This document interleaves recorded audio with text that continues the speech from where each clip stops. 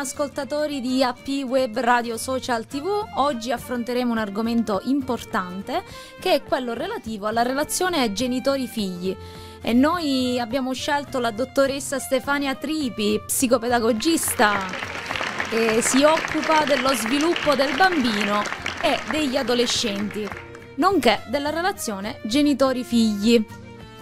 Buon pomeriggio, dottoressa. Buon pomeriggio a tutti i radioascoltatori. Un piacere essere qui, ringrazio voi che mi avete invitato e spero oggi di poter così chiarire qualcosa, qualche dubbio o di stuzzicare un po' di curiosità.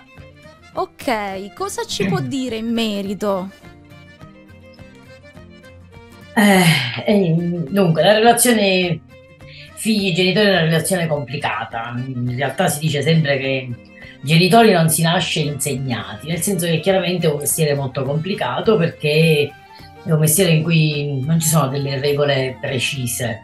Ehm, non tutto quadra, non tutti i bambini sono gli stessi e, e, lo stare insieme non è una cosa semplicissima né per i figli né per i genitori. In realtà ehm, il compito dei genitori, soprattutto quando i bambini sono piccoli, è quello di riuscire a fare in modo che i ragazzi imparino i limiti, imparino le regole, si sentano amati, eh, perché il sentirsi amati sicuramente per tutti è una delle condizioni più importanti per una, diciamo così, uno, un'evoluzione, uno sviluppo adeguato di tutti i bambini che poi saranno adulti. Ma sicuramente all'inizio i bambini non sanno bene come si devono comportare. Allora questo è il compito dei genitori. Educare viene dal, dal latino ex ducere che significa proprio tirar fuori. E, e il tirar fuori che cosa? Quello che i bambini hanno dentro di loro, le loro inclinazioni, le loro predisposizioni. Ovviamente tutto questo accanto a delle regole che devono servire a far sì che i bambini possano imparare a stare nella società le regole, io dico sempre che i genitori per ricordarsi un po' quale deve essere lo spunto eh, di una regola, le ho sempre definite le tre C, chiarezza, costanza e coerenza. Chiarezza perché i genitori devono essere chiari con i propri figli, devono, i, i bambini devono sapere cosa possono fare e cosa non possono fare devono essere costanti, quindi le regole non possono essere umorali, ma una regola deve essere fissa, perché la regola non può cambiare a secondo dell'umore del genitore.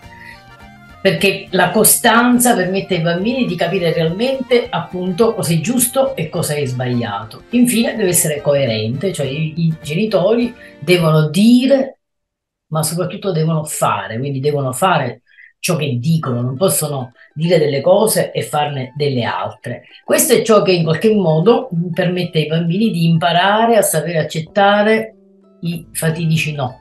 Esatto.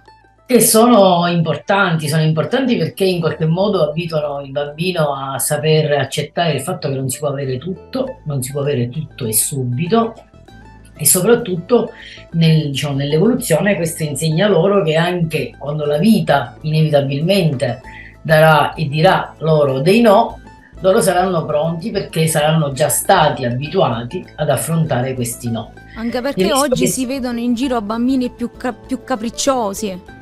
Eh sì, perché i genitori fanno un po' di fatica a capire quanto sia appunto importante eh, eh, il concetto della regola. Eh, spesso sento dire che dai genitori che in qualche modo mh, vabbè ma io sto poco a casa io non ci sto mai eh, non, come dire non posso essere sempre normativo.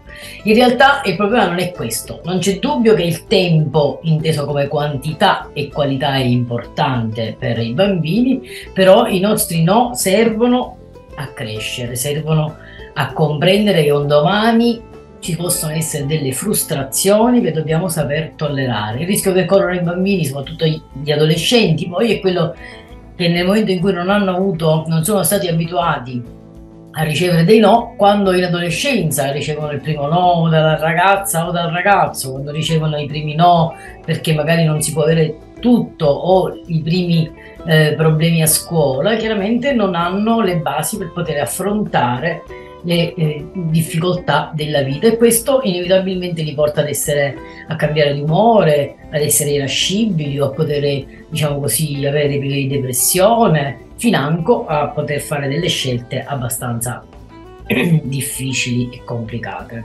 Ecco quanto è importante avere delle regole.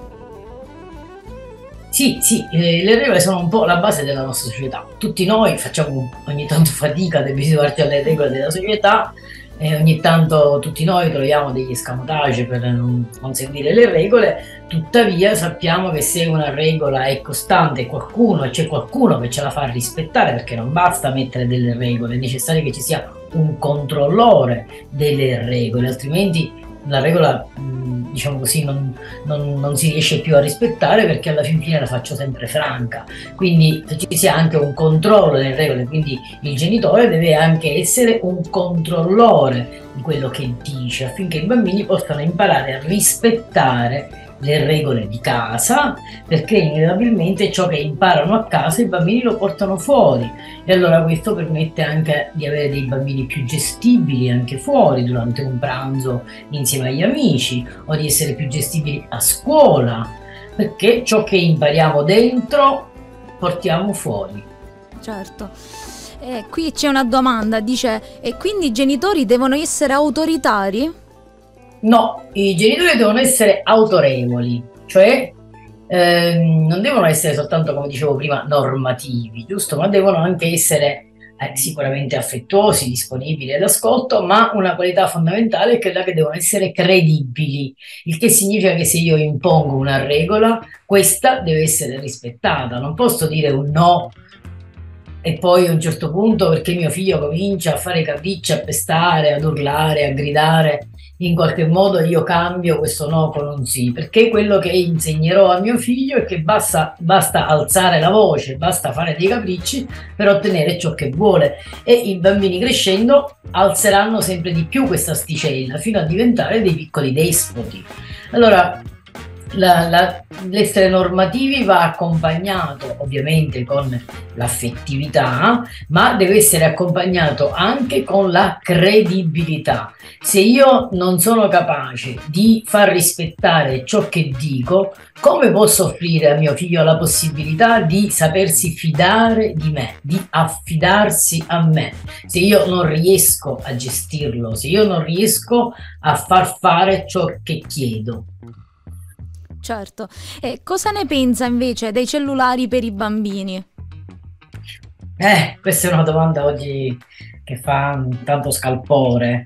Beh, allora c'è chi è assolutamente contrario, scientificamente i pediatri dicono non date il cellulare ai bambini fino a che non fanno 10 anni. Beh, l'età sicuramente è importante anche perché, mm, come tutti eh, gli apparecchi elettronici, sono, diciamo, il genitore ha il compito di guidare i bambini nell'utilizzo di questi strumenti. Eh, dare il cellulare troppo presto ai bambini rischia di eh, di, di, di, far sì che il bambino non metta in atto la propria creatività, anche che non possa vivere i suoi momenti di noia, ma sia sempre appiccicato a questo strumento. Tuttavia, mh, mm, ritengo che essere ehm, eccessivamente contrari all'uso della tecnologia che oggi comunque fa parte della vita dei ragazzi, dei bambini, diciamo che dai dieci anni in poi, diciamo così, ehm, sarebbe come tenere un po' i bambini un po' isolati.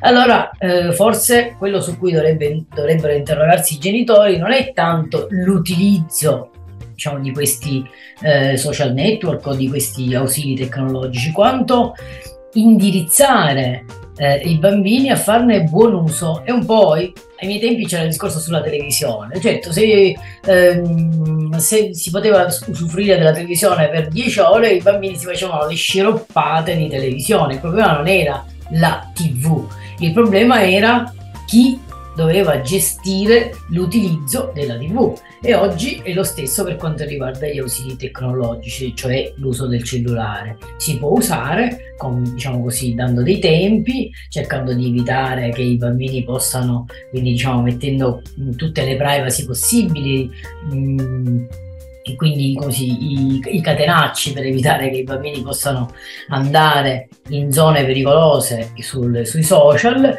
però dico non bisogna neanche demonizzare la tecnologia. Il mondo dei giovani oggi è un mondo tecnologico, è un mondo sociale, a volte troppo virtuale, quindi come dire, riuscire a dosare ciò che è la realtà vera da ciò che è la realtà virtuale.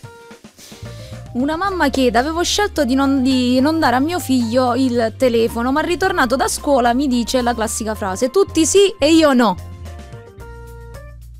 Beh, questa è una frase che spaventa un po' tutti i genitori perché ehm, perché in qualche modo si tende ad omologare un po' tutti. Eh, ognuno, io dico sempre chi ha un buon senso se ne serva, nel senso che in qualche modo ognuno ha delle regole nelle proprie case, eh, si possono fare come dire, dei compromessi, eh, si può evitare che il bambino abbia il telefonino come tutti, ma per esempio permettere al bambino di poter utilizzare quello della mamma in alcuni momenti, dargli un tempo e poter disporre di questo cellulare in modo controllato e in un tempo controllato. Ehm, il problema è che i genitori oggi fanno fatica, fanno fatica perché sono sempre impegnati, perché tutti andiamo molto di corsa, perché spesso non si fa attenzione eh, all'ascolto, non si legge più quel linguaggio diciamo non verbale, non si, non si va oltre quello che sono le parole. I bambini hanno una grande capacità che è quella di riuscire a dirci come stanno attraverso il comportamento. Il comportamento è il modo di esternare eventuali disagi dei nostri figli, diversamente dagli adulti che sono sempre diciamo, in grado di mentalizzare, di discutere, di confrontarsi magari con, con adulti e con amici, i bambini fanno fatica a mentalizzare i propri, i propri disagi, eh, le proprie paure e quindi i genitori devono stare attenti a quelli che sono i comportamenti dei propri bambini, dei propri figli per capire se tutto va bene o se in qualche modo è necessario parlare di qualcosa, ascoltarli di più, stare più vicini, più presenti. Um, non è facile perché, ripeto, il, tempo che si ha a disposizione spesso per problemi lavorativi, ehm, diciamo così, non ci permette di stare tanto dietro ai nostri figli, ma se non possiamo contare sulla quantità del tempo, dobbiamo assolutamente concentrarci per offrire ai nostri figli una buona direi anche ottima qualità del tempo con loro. Non è possibile un genitore sta poco a casa e quando torna c'è sempre qualcosa di più importante, che può essere soltanto cucinare, fare le cose a casa o stare anche l'adulto appiccicato al telefonino. Dobbiamo fare delle scelte, abbiamo scelto di essere genitori e questo purtroppo ha anche diciamo, degli oneri che sono quelli di eh, ci sono dei momenti in cui possiamo avere meno tempo per noi e il, no- il nostro tempo deve essere per loro, per una sana crescita, per un sano sviluppo in una società che oggi è difficile da, da vivere, quindi noi dobbiamo dare ai nostri figli tutti quegli strumenti per saper stare, per sapersi difendere, per vivere diciamo in maniera sana. Eh, esiste il genitore perfetto? No, per fortuna non esiste, altrimenti sarebbe una tragedia, così come non esiste la famiglia perfetta. Eh, una delle, non voglio fare c'è una pubblicità di cui ovviamente non, non dirò il nome, eh, che in qualche modo eh, illude le famiglie che esista la famiglia perfetta, la famiglia che ha la macchina bella, la famiglia che fa colazione tutti insieme, la famiglia brillante, perfetta, che ha tutto. La famiglia perfetta non esiste, come non esistono figli perfetti, come non esistono genitori perfetti. Esistono genitori buoni, cioè noi abbiamo il compito di cercare di essere i migliori genitori possibili. Non sempre si riesce ad esserlo, ma eh, tutti possiamo fare degli errori. Forse una qualità che oggi va rivista un po' è quella dell'umiltà, di ogni tanto ascoltarci un po' di più e saperci anche mettere in discussione, saperci in qualche modo di fa- fare dei passi indietro e cercare di fare più attenzione a ciò che facciamo. Se facciamo tutte le cose di corsa ehm, senza dare attenzione a ciò che capita attorno a noi, il rischio che corriamo è di fare degli errori grossolani. Tutti facciamo degli errori, il problema è che dovremmo cercare di seminare bene, e seminare e innaffiare non basta seminare, un, un, seme va seminato e va anche annaffiato, va curato eh, nella sua evoluzione. Ecco, immaginiamo che un, un, bimbo sia proprio come un fiore, quindi quando in qualche modo decidiamo di mettere al mondo un figlio eh, è un po' come un, un contadino che, che, che, semina il proprio fiore, il proprio seme, non sa che fiore sarà, nessuno di noi sa che cosa cosa saranno i nostri figli, come saranno. Eh, e quindi dobbiamo cercare di offrire il calore così come si dà un fiore, l'acqua come si dà un fiore, e dobbiamo mh, mm, cercare di far sì che la terra che accoglie questo fiore sia il meno rocciosa possibile. Questo è un compito del genitore, che è quello di accompagnare, ma soprattutto quello di essere, di esserci anche quando i, quando i bambini crescendo diventano adolescenti, diventano più grandi, volano via dal nido, ma sanno che questo nido è pronto a riaccogliere tutte le volte che loro desiderano. Queste sono le sicurezze di cui hanno bisogno i bambini prima, gli adolescenti dopo e che strutturano poi un sano adulto. Ci, ci, è arrivata una domanda, come gestisco mio figlio che mi dice tu vuoi più bene a lui e non a me? E, beh, questo credo che sia piuttosto un... A volte anche i genitori fanno questo errore no? di chiedere ma tu chi vuoi più bene, a papà o a mamma? Queste domande non sono delle domande da farsi, perché come dico sempre ai bambini quando lavoro con loro, il nostro cuore è capace di amare tante persone, tutte insieme. E non c'è una, anche tra genitori che hanno più figli, spesso quella che è la gelosia, che tra parentesi è un'emozione sana, eh, diciamo fino a che raggiunge, diciamo così, non raggiunge livelli eh, troppo alti, eh, un, genitore ha l'obbligo di spiegare al proprio figlio che ognuno di noi ha la possibilità di amare tante persone e che i figli pur dicendo spesso siete uguali, in realtà i figli non sono uguali, ogni bambino ha la propria personalità, il proprio modo di essere, le proprie necessità, le proprie paure, quindi sebbene siano figli entrambi di una stessa coppia, sono due bambini diversi che vanno amati, diciamo, nello stesso modo, nel senso secondo il modo più congeniale per ognuno di loro.